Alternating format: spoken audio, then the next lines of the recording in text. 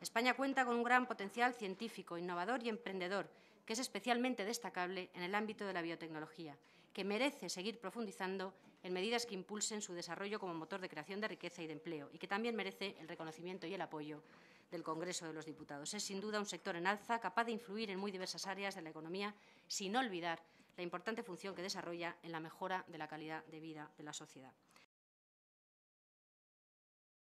No estamos, pues, ante un sector económico o una disciplina científica.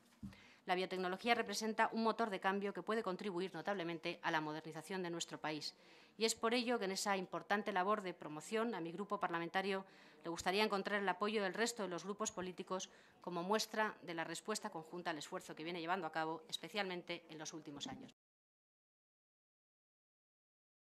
Relativo a la declaración de 2013 como año de la biotecnología, eh, tiene la palabra para defender la proposición de ley y la autoenmienda del Grupo Popular la diputada la señora Fabra.